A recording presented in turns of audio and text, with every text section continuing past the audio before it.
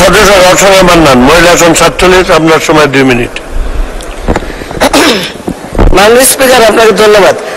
আমরা ছোট সময় থেকে দেখতাম চিকিৎসা দুটাই হোমিওপ্যাথি, অ্যালোপ্যাথি।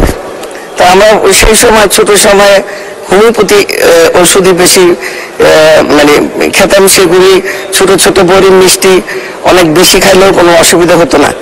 সেই সময় চালু ছিল। এখন সেই হোমিওপ্যাথি কোনো ডাক্তারদের সার্টিফিকেটও যাচাই হতো না, তার হাত যশের উপরে অনেকে অনেক অসুখ ভালো হয়ে যেত।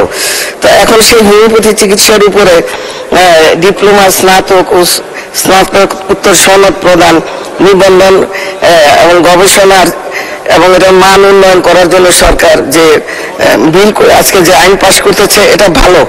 কারণ অনেকে এরকম বসে যায়, বসে বসে দোকান হলে চিকিৎসা করে। এটা একটা ডিগ্রি থাকতে হবে সার্টিফিকেট থাকতে হবে। এটা, এই হোমিওপ্যাথি, এই আইনটা খুব ভালো। কারণ চিকিৎসা এটা চলছেই এলাকায় এলাকায় এটা চলে। এটা দরকার আছে, গরিব মানুষ এটা খায়। তো সুতরাং এটা এখন ডাক্তার যদি সার্টিফিকেট দেয়, তারা যদি পড়াশোনা করে, ডাক্তারি করে, তাহলে এটা ভালো হবে। দুটাই চলে বাংলাদেশে।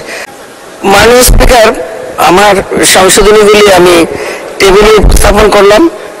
মাননীয় মন্ত্রী যদি গ্রহণ করতে চান কোনোটা, তাহলে গ্রহণ করতে পারেন। আমি একটা কথা বলে, শেষ করছি মাননীয় স্পিকার। অ্যালোপ্যাথি ডাক্তাররা অনেক পড়াশোনা করে, অনেক বছর এমবিবিএস বা যারা করে, এমআরসিপি এসিএস তো অনেক বেশি পড়াশোনা করে। এখন এই তারা সার্টিফিকেট নিয়ে প্র্যাকটিস করে। এখন হোমিওপ্যাথি ডাক্তাররাও এরকম সার্টিফিকেট নিয়ে কম্পিটিশন দিয়ে এমবিবিএস এর সঙ্গে তারাও পড়াশোনা করে রুগী দেখুক আমাদের দেশের চিকিৎসা হোমিওপ্যাথিও চলে।